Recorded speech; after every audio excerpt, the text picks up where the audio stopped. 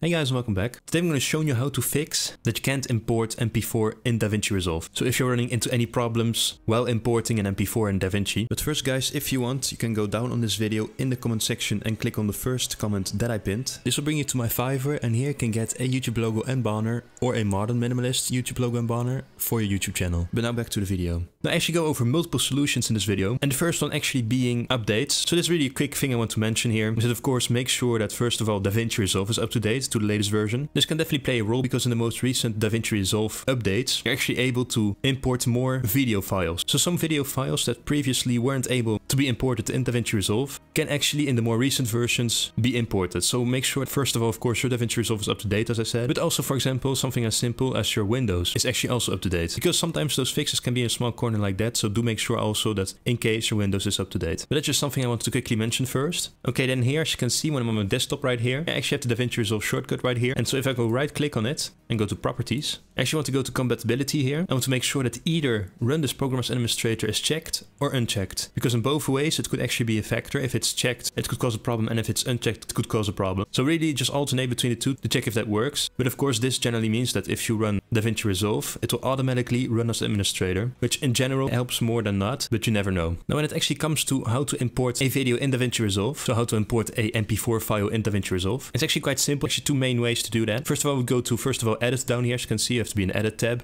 Right click on the media pool here, do import media, and then select a video in question right here. As you can see, I have videos prepared right here. As you can actually click on one of those videos right here to import it. Or if you actually have a file explorer open already, as you can see right here, outside of DaVinci Resolve, you can also actually take the video and drag it in here in the media pool, same thing. But that actually brings me to the first solution right here, because as you can see, if I take this video that has an emoji in the title here, and I try to drag it on here, as you can see, it won't let me import the video. What you actually want to do then is first of all, of course, obviously rename it and remove the emoji right here. But also cases where there's actually also an emoji in the title, which might not always be visible. How you can actually remove that is actually right click here, go to properties, go to details. And as you can see right here, the title also still has an emoji right here. So I'm just going to remove it like that. Just click OK. And so there you go. Very important. Make sure that in case it can also be a title that has the emoji in it. So even though you renamed the file right here by removing the emoji, it can actually also be in the title and it can also be a factor. And so DaVinci Resolve won't allow you to import that video file anyway. And so if I minimize this again and I take the video right here, as you can see, I just have to click change here. I can in fact now import this video right here, as you can see. Now a second way to actually make a video file readable is if for example you go to view right here, show, I'm going to go to file name extensions. And right here as you can see behind, as you can see behind the actual title of the video, it says what format it is. So here as you can see it's just an MP4, but here as you can see it's an MKV. Now MKV is a video format that should normally be read by DaVinci Resolve. So that shouldn't be a problem. But imagine it's something else that does have a problem that has a hard time importing because it's not an MP4 WAV or another readable video format by DaVinci. In that case, what you can do is just rename it. Actually go back here with the arrow. And so in this case, just type MP4.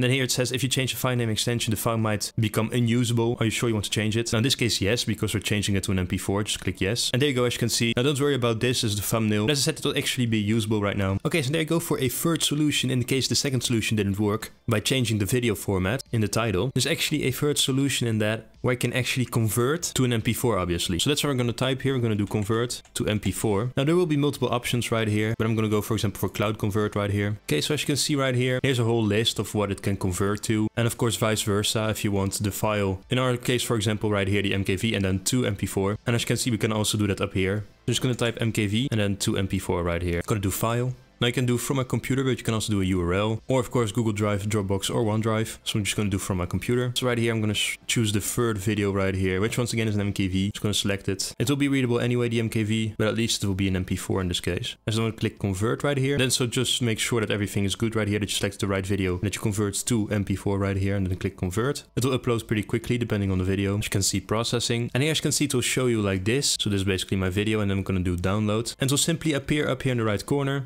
So we can do then is the shown folder. Now it should appear in your downloads. As you can see, if I click on it, it plays the video as usual. And as you can see, I can also just put this here in DaVinci. You can see right here. And don't worry about the audio, this video didn't have any audio to begin with. Okay, there's actually one little last bonus thing I wanted to mention. It's a little small detail within DaVinci Resolve, but make sure that this V1 right here and A1 are selected. This means the video and this the audio. Because as you can see, if I deselect this and remove the clip right here, as you can see if it's deselected, and I import it, as you can see, only the audio will be imported. And so if all of these are deselected, as you can see, if I drag it right here, nothing will happen, as you can see. So that's very important to always make sure. So if you just got DaVinci Resolve or you just discovered that that's a problem, just make sure that right here everything is selected for, as I said, the video and then in this case the audio tracks, no matter how many they are. Always make sure they're selected like this. But that was just a little bonus in case you could actually import a video format, but not actually drag it to the timeline. But I think it was actually worth mentioning it if you had a more specific problem there. But anyways guys, I tried to cover the most possible solutions on why you can't import MP4 in DaVinci Resolve. Now if you still have any questions, leave them down below. But in any case, I do hope you enjoyed this video. Please leave a like, would be really nice. Subscribe would also be really nice. And I'll see you guys in my next video.